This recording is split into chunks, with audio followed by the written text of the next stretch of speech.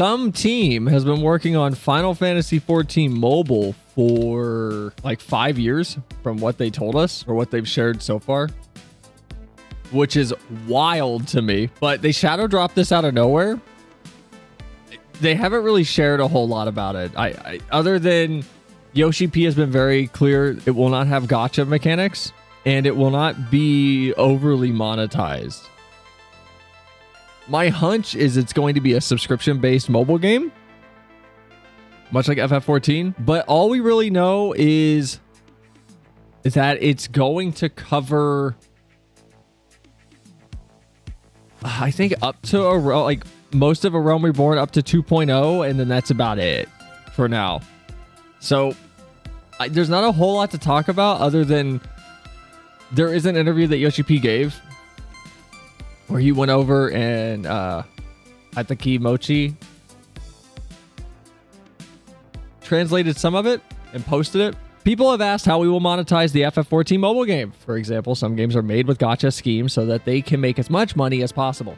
That's not what we're about. With respect to the original FF14, we designed the mobile game with one thing in mind. Exactly how long could a mobile user play this game?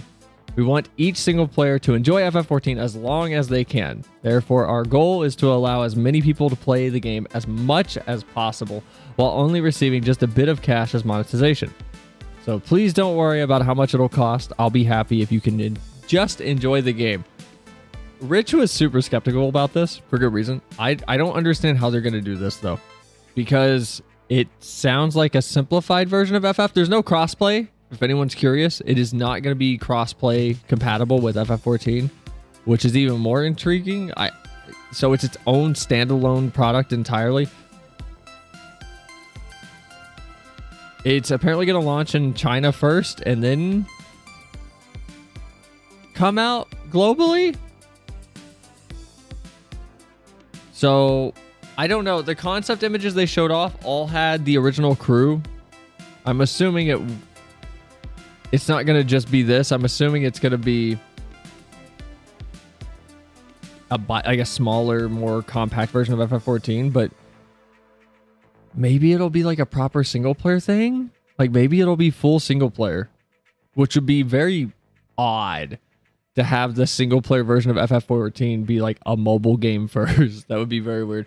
Thank God for no crossplay because could you imagine raiding with a mobile user?